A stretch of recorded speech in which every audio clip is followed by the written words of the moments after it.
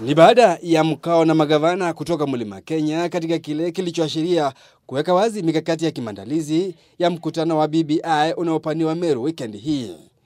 Kinara wa ODM Raila Odinga akiashiria kwamba mkao huo uliangazia maendeleo muhimu yanayokusudiwa eneo la Mlima Kenya, magavana akitokeza kuwa BBI ndiyo suluhu kwa changamoto za kitaifa. We are not for any divisive politics, and that's what Kenol meeting will be about. This country to be a celebration of, of, our, of, our, of our country, of our cultures, of our community as we move on. I won't spend too much time discussing the input. It will be more a celebration of uh, that which unifies us as Mount Kenya region. Ikijiri siku moja tu baada ya kiongozi wa wengi katika bunge la Senate Kipchumba Murkomen kutokeza kwamba watahudhuria mkao, magavana waliashiria kwamba watakaoshiriki ni wenye nia ya miongoni mwa mengine kukuza umoja pamoja na usalama wa taifa. We don't want people to bring in their side shows to our meeting.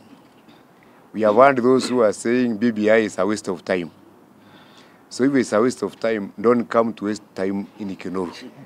Katika mikao ya kuwasilisha mapendekezo mbele ya kamati ya BBI, viongozi kutoka jamii za wafugaji walitilia pondo haja ya kuwepo mfumo wa utawala almaarufu parliamentary system, ikiwa taifa linalenga umoja. Kenyans fight every year because every election because of the presidential elections. It becomes ethnic, it becomes uh, individual.